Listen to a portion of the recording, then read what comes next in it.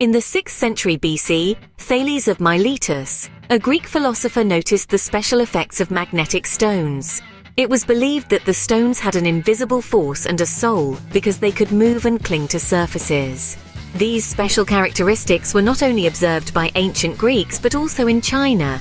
The name magnet is said to come from the Greek word lithos magnes, while others attribute the name to be from the city of Magnesia in Asia Minor in Turkey. Nevertheless, magnets are pieces of metal attracted through a magnetic field to another metal object. This magnetic field is invisible to the naked eye. So what constitutes a magnet or why do magnets attract or repel other materials?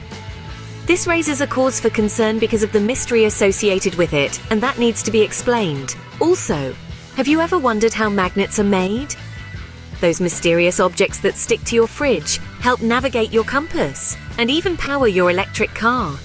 Magnets have become a ubiquitous part of our daily lives, silently serving us in ways we often overlook. They're not just toys for science experiments, they're vital components in many of our modern technologies. The process of making them, however, remains a mystery to many. Stay tuned as we unravel the fascinating process of magnet creation.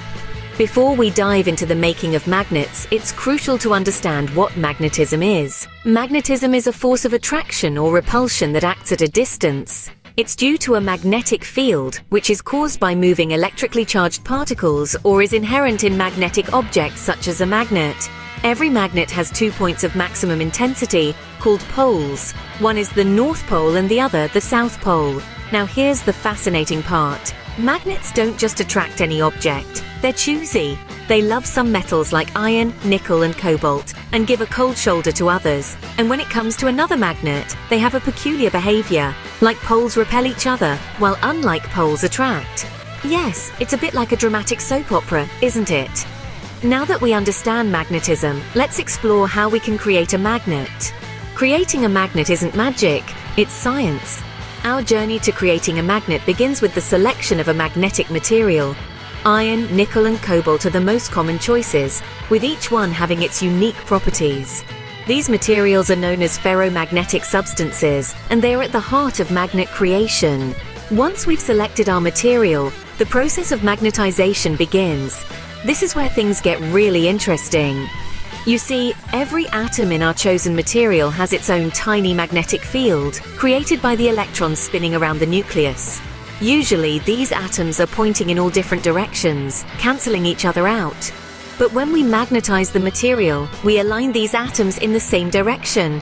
This alignment creates a magnetic field, and voila, we have the beginnings of a magnet. But how do we align these atoms? Well, we use an external magnetic field. This could be from an existing magnet, or more commonly from an electric current. When our material is exposed to this external field, the atoms start to shift and align with the field. The stronger the external field, the more atoms align, and the stronger our magnet becomes. Now here's a crucial point to remember. Once the external field is removed, some materials will keep their magnetic properties, while others will lose them. This is the difference between permanent magnets, like the ones on your fridge, and temporary magnets, like a paperclip that's been magnetized by a magnet but loses its magnetism once the magnet is removed. But it's not just about aligning atoms. The process also involves shaping the magnet. This is done through a process called grinding, which shapes the magnet into its final form. Whether it's a bar, a horseshoe, or a disc, the shape of the magnet can affect its magnetic field and how it's used. So we have our magnet, but it's not quite ready yet. A rough magnet needs some fine tuning before it's ready for use. After the birth of a magnet, it's a bit like a diamond in the rough. It has potential, but it needs some refining to reach its full magnetic glory. The process of magnetizing, shaping, and coating the magnet is what turns this piece of metal into the magnetic marvel we know and love. Let's start with magnetizing. This process is what gives the magnet its magnetic properties. It's a little like waking up a sleeping giant. The magnet is placed inside a coil of wire, and a strong electrical current is passed through. This aligns all the tiny magnetic domains within the magnet, pointing them in the same direction and creating a powerful magnetic field. Next comes shaping. The magnet is carefully crafted into the shape that best suits its purpose.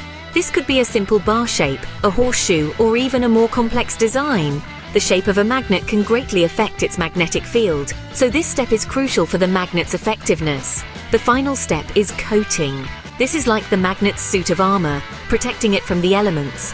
The coating is typically a layer of nickel, although other materials can be used. This not only makes the magnet more durable, but it also helps to enhance its magnetic properties. Throughout this process, each step is meticulously carried out, ensuring the magnet is just right. It's a delicate dance between science and artistry, where precision is key. And voila, from a piece of metal to a powerful magnet, the transformation is complete. It's a testament to our human ingenuity, turning a simple piece of metal into a tool that can attract or repel, that can hold things together or push them apart. It's truly magical to see the journey of a magnet, from its humble beginnings to its finishing touches. And it's just one example of how science can transform the ordinary into the extraordinary. Magnets. Simple yet fascinating, aren't they? We've journeyed together from the initial intrigue of magnetism to the birth of a magnet, and finally its finishing touches. It's quite a process, isn't it? From the raw materials through heating, cooling, and aligning their domains, we create these marvels of physics. And what's even more amazing is how far-reaching the applications of these tiny powerhouses are.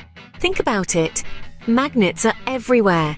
They're in our computers, helping read and write data on our hard drives.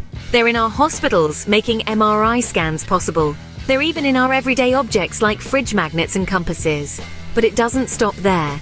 Magnets are also in the cutting-edge technology of today, like maglev trains and quantum computers. And who knows where they'll take us in the future? The possibilities are as limitless as our curiosity. So there you have it, a little glimpse into the world of magnets. I hope it sparked a bit of curiosity in you, a desire to learn more about the wonders of science. Because that's what it's all about, isn't it?